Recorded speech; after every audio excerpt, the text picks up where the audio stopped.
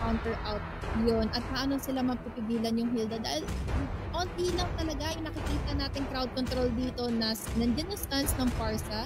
Nandito rin yung Jitundo and Way of the Dragon nga ni Escanor and Deb with that Yuzong but still ano ang sa tingin mong magandang uh, composition nga dito Kuya Butters? Paano kaya matatapatan ng SCIE Olympians ang Smart Omega dito sa early phases ng game uh, level dependent yung parehong strategy natin. You have the Esmeralda, you have the Uranus.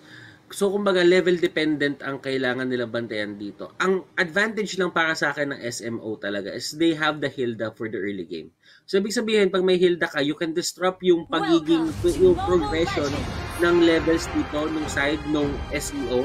Pero if SEO can handle that properly, gusto ko yung Lunox pick it deals with a lot of the tankiness na meron dito yung SM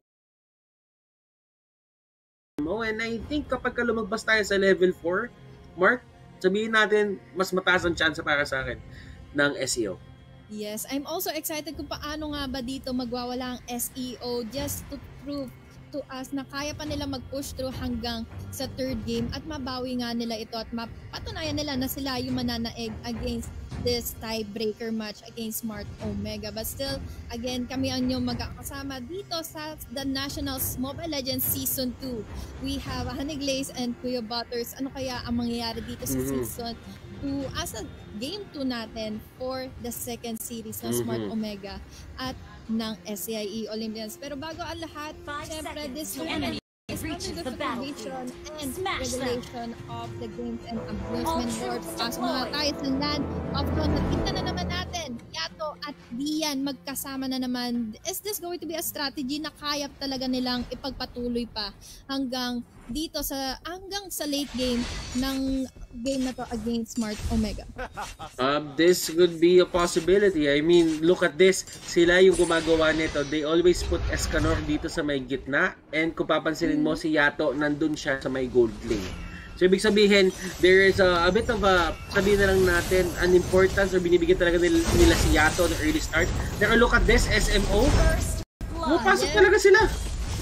Alam kasi nila na kaya talaga nilang palagan si Dian and Yato na hindi makakapagbigay nga ng damage output throughout this minute mark. Kung saan, ma- madalas na dito talaga makikita natin Smart Omega being aggressive. Nakikita natin ngayon si Heat pumupwesto na nga lang ng pumupwesto dito sa possible chances na makakuha ang lane ng kanyang mga resources. Mm-hmm. Kenji and Cam going a one-on-one par onto the bottom lane. Heat However, face, placing himself already dito sa blue buffs, paano kaya dito makakasagot si Lin against here the aggressiveness of the Smart Omega?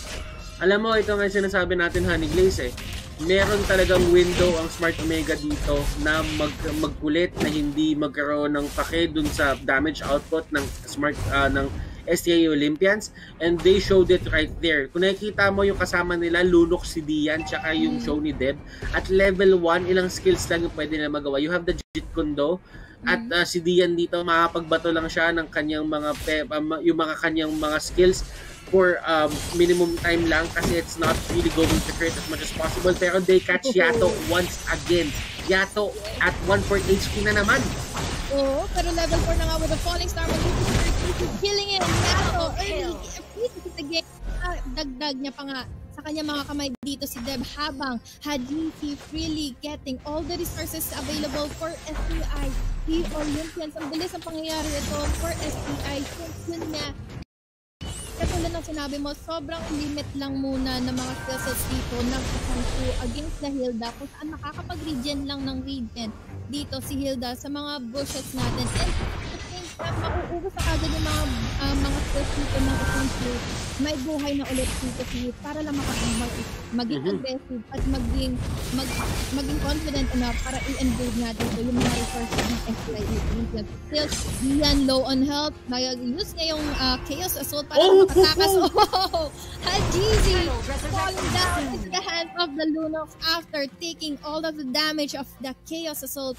3 minutes mark, nakakapagpalitan na nga dito SCIE Olympians, kaya pa nilang pumalagin kay Smart Omega. Alam mo, it's one of the things that you really have to look out for. Kahit sabihin mo lamang na lamang kayo dito, you should know how to limit yourself in doing those things. They catch out na Hilda. Hilda dito hindi siya makapuntang brush and that is going to be his downfall. Alam mo, Ani Glaze ah, ito lang mga sabi ko dito. Kahit sabihin mong hawak na hawak ng Smart Omega dito, yung laban, sila yung gumawa din ng way para makakuha ng konting opening dito SCI Olympians. And I like how Cho and Lunox work. Ito kasi yan eh rotate sila ng sabay. Once na may mahuli ng ano, once na may mahuli ng uh, Way of the Dragon, it's going to be the Chaos Darkening, then Burst coming up from Lunok. So wala ka talagang laban to. Kumbaga unit sila or unit talaga gumalaw etong dalawang to. Mm-hmm. Pero speaking of, katulad na lang din ng sinabi mo kanina, Dev with the Way of the Dragon, pero hinintay natin ang Chaos Scope ni Dian. Disengage na lang muna for the Hilda, but still, nandito na naman ang blue buff ng isang Yato. Paano kaya siya makakakuha? Still, Hajisi, mismo na nga ang turtle. First turtle available onto the Land of Dawn. How will they end up dito sa mga clashes dito? Nakakayaan na lang ba ng isang Lin ang Smart Omega na kumuha nga ng objective since they are already here onto the jungle side. Deb, naghintay nga ng magandang chance to go and with the for TV. Nag-aabang the falling star sa however for the hindi pa rin feathered earthquake at so far so papasok na rin si Escanor. Kaso nga lang low on health na siya. Hit however buhay na buhay pa rin and possibility is there. Para lang ma-disable niya? Yung resources dito niling that there goes the Tempest of Please we have already a Valor going down. With the Phoenix oh, Ricky however wala na nga. May pamalagpak lang ang nawala sa mapa. Escanor dito low on health Deb na rin tumatak na palayo very disregard pero way of the Dragon together with that feathered first time. Para lang makasagot ng malalaking Smart Omega magising at sa pang kill against SCIE Olympians. At nagda namatay hindi nga namatay dito si 13, si Anhilda, and sila lang halos yung nakapag-sustain lang lahat ng damage available na binibigay pa dito ng SCIE Olympians. Tandaan natin dito, Honey Glaze, na nagsisimula pa lang ng farming si Yato. Mm. Ang ganda ng ginawa ng SCIE Olympians dito, they held their ground para lumaban dito sa side ng SMO. But while everything of that was happening, syempre, tatandaan natin, yung stacks dito ni Yato hindi pa ganun kaganda So, ibig sabihin, kailangan nyo muna bigyan kahit papano ng space si Yato mm. na hindi mo na kayo lalaban at hindi siya mapipilitan tumulong eh. Kasi kumbaga, in terms of, ano naman, in terms of uh, carries, natanggal agad si Haji Sin. That was a very good move from Deb. Telegraph mm. yung ginawa niya doon na pagka, nung pagka, pagkababa sa third rows ng uh, Lancelot, sinipa niya agad with the way of the dragon and that held him into place for Cram to actually burst him down. Grabe no, lahat na binigay din ng SA Olympics pero buhay pa rin at hindi sila nakakuha nga ng kill against here, the 30 and So on the middle lane, we have here a dominating match for Smart Omega. Still, uh, pero nandito pa rin tayo sa 6 minutes Monster uh, kill! of the game kung saan Whoa, monster kill is already given for Curtisi with an outstanding KDA of 6 kills kagad against SCIE Olympians. And more possible uh, possibilities nga dito na makuha pa nila ang turtle since yun nga hindi na nga nakakapalag dito ang SCIE Olympians. Kicking off Cram forced to use the wings by wings. Kaso saan ka nga lang mapupunta? Yen Hayes nandito na sa harapan. Hindi nakapapatap execution Let's take Cram down onto the bottom lane. Grab na ito for the side of Smart Omega. Isa-isa nilang pinapatay ang STIE Olympians. A bit of hesitation doon. Kumbaga, he didn't really try to get out. Subukan niya sana pumunta doon sa may isang part ng map. Pero he knew na nandun din si Haji. So, aabutin talaga siya ni Haji doon sa turn throws as much as possible. So, you know what? I like what uh, uh, SMO is doing as well. Kumbaga, nakita na nila, ah, nag-pop off si Curtsy. 6-0 na siya dito, may Holy Crystal na siya. Hmm. Pwede na natin siyang gamitin talaga todo-todo at pwede na tayo lumaban na lumaban. For the side of STA Olympians, they need to get their pick-offs. Kailangan nilang kailangan nila mag-rely talaga kay Deb dito. Deb did a great job pero kailangan niya pag gumawa ulit ng ng isang big play na katulad doon. Kenji dito pumasok lang sa base ng kalaban, wala siya pakialam. okay, nandito naman ang Way of the Dragon coming from Escanor just to disrupt the number 12 or Omega. Out of nowhere, we have also the Feather Airflow kasi wala siya matamaan. Buhay pa rin si Kenji. Hindi nila nag-aanilangan kahit ang lalim na nga ng tinutulong nila dito against Deb. Sila pa nga yung nahihirapan dito for SAE Olympians. Iyan, however, na mahapting damage from Valir. Paano kaya sila makakasagot? Bukas, Benji going to the backline. Ano naman sa frontline. Ang hirap na nito for SL Olympians. All, of, all over the place dito ang Smart Omega at hindi sila mag hindi sila magpapatumpik-tumpik pa na kumuha nga ng kill. Ilapag lahat ng skill sets na meron sila dahil lumalamang na sila ng 5k gold lead against Kamunti ka na si Cram dun ha. Kung hindi siya nag-over the ako dun, para ramdam ko siya na yung next target dun eh. Wala siya na yung next casualty. Pero dito na naman si Kurtzy. Gusto niya talaga ng laban. Gusto niya talaga tanggalin si Deb dito out of the equation. 1 HP. A lot of damage are being thrown out here from the side of SMO ha. Yep. And patong nga dito si Destiny na na bumabasok kay NG. Wala na nga siya kay ng fight. Bigyan pa siya ng kaya support. Dito ni Bian onto the backlines. Hindi siya na muna. At naghahintay nga dito si Hit. Sino yung pwede niyang uh, pwede niyang ng damage with the normal hit. Since umaabot na tayo sa point na ibang klase na rin mag-stop nito ang Hilda against STIE Olympians. How will they be able to answer this? Yato, mahanap lang ng mga resources niya since hindi na nga siya nakakakuha pa ng blue buffs available into the jungle. Falling Starmon pero drop up na lang muna for SIE Olympians.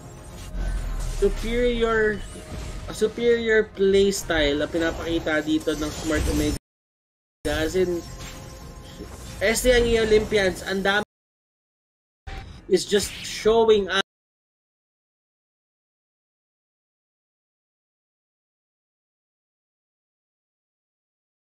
us kung paano kontrolin yung mga ganitong laban.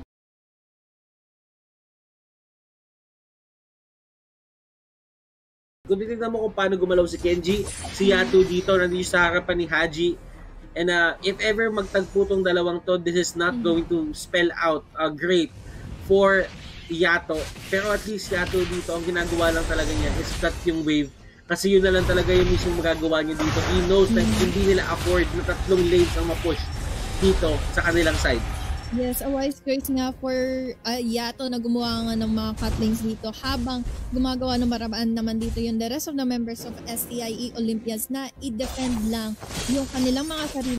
Here, we have also the inner turret nga dito. Heat, nag-aabang lang sa mga falling Starmon onto the front naman si Kenji but still, this is a na hindi ko makaalis doon sa possible ambush from Smart Omega Escanor with the Black Dragon form. Nagdi-disrupt lang siya but still, Lord, ano nga ba yung pwede mong i-disrupt? Uh, makunat dito si Heat, papasok lang siya ng papasok anytime but nagkakaroon nga dito ng sagupaan with the Dev, or with Dev, with the Chu and Dian on top. So, first level load is already available under 11 minute mark. Mm-hmm. Not gonna lie, this is uh, uh, looking like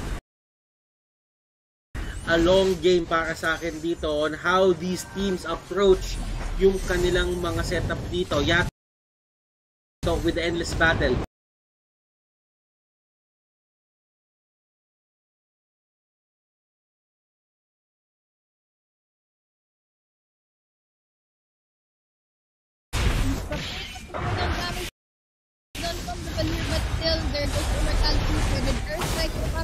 Talaga dito si Heat kahit na nandun na nga yung Feathered Airstrike at hindi na nga, hindi na nga siya mapipigilan pa dahil nire-reserve dito ni Deb yung kanyang mga skills. Although wala siyang Way of the Dragon, kailangan niya pa rin maghintay talaga kahit pa paano. If ever na pumasok na si Lancelot, Jit Kundu, and definitely for the, for the Lunox na makapagbigay ng damage output against Omega. Mm-hmm. This is this is looking really good for the side of uh, yung uh, kanilang uh, sabihin na natin yung kanilang network dito. Yung gold is uh, sabihin na lang natin nasa 8K ang lamang nila. So STI Olympians they have a lot of things to catch up to. Pero with this si Yato dito, hindi nila alam kung saan magagaling si Yato dito. It's gonna come on from the side pero it's it won't be in time. Tutumba yung Lord agad dito. Grabe yung damage output na meron dito ang Smart Omega. Ito talaga yung sinasabi ko for Yato na iiwan niya yung mga members niya, iiwan niya yung SC, the rest of STIE Olympians na gumawa nga ng paraan para i-defend yung kanilang mga sarili at siya naman yung kukuha nga ng objectives. Kaso nga lang nak- nakikita at nagiging aware talaga dito si. But we have a godlike for Curtizi para lang makakuha nga ng kill against Yato. Wala na siyang naipapalag at wala na siyang makuha pang objective dahil alam na Smart Omega kung paano gumalaw dito ang lane, kung saan siya pupunta at ano pa ang kailangan niya pang kuhan. And you can see the Lord, and, uh, yan ay isang luminous Lord, powered Lord yan. And that is going to be the top lane turret going down. Wala na silang turret dito sa top. Diyan! Mm! Diyan, low on else. We have Yeliate on the back line. Spirit Torres. We have Hadisi going down. We have also the luminous turret still. Mark, makuha ng Asiato. However, with the double kill, but still, buhay na buhay pa rin na tumatayo pa rin ng SIU Olympians after Ling was able to get a kill against Valir Curtizi. Medyo na, medyo nagsistay na nga siya dito against STIU. Uh, this is this is somewhat of a sabihin natin moves from Smart Omega. They could have uh, they could have settled na makuha na lang yung uh, area na yon pero I think there is another fight happening right now. Yeah. Uh, we have the seven definition na muna for SAE Olympians as they group themselves out after taking the successful defense against Smart Omega. At we are still seeing here onto our uh, uh, onto our screens itemization ng mga things natin building up the immortality, they are. Kompleto rin rin dito ang Esmeralda. At wala na pala kabilangan na papasok sa 13 dito against Forest. Remember, they still do have this going into the front line against Forest. The the the Esmeralda. Destination